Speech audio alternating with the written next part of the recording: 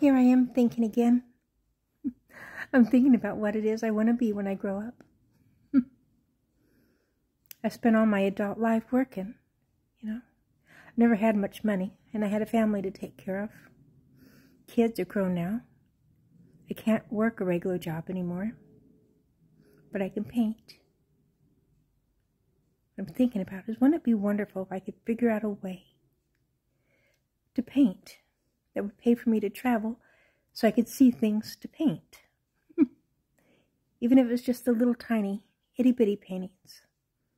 Getting on a train or a bus